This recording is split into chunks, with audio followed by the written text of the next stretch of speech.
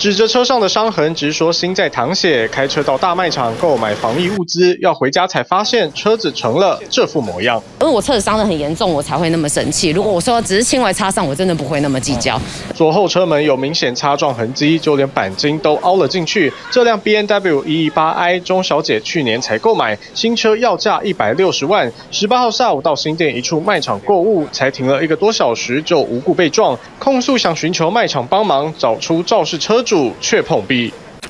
他气的 Po 文不满卖场态度消极，事发超过一周都没有接到卖场的电话，想调监视器却发现停车位是死角，明明距离卖场入口只有几步路，却没有监视器，实在很没保障。还指控业者在警方到场查看监视器时，也不让他进入。你们怎么可以是这样的这样的态度？而且你们一家连锁大卖场，你们怎么会完全没有照到向外的摄影机？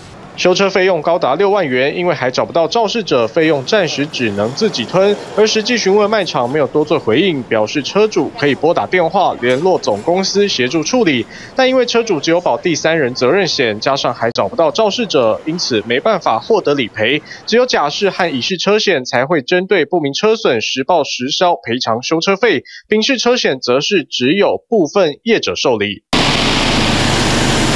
而事故若是发生在非道路范围，还是可以请警方协助记录作为理赔依据，双方再到调解委员会处理。万一没有达成和解，也能提出民事求偿。只是现在钟小姐连肇事者都还找不到，只希望卖场可以积极协助追出撞凹车门的人到底是谁。TVBS 新闻连玉敏郭颖新美市报道，请订阅、按赞、分享 TVBS 新闻频道，并开启小铃铛，也请下载 TVBS 新闻 APP，随时掌握国内外大事。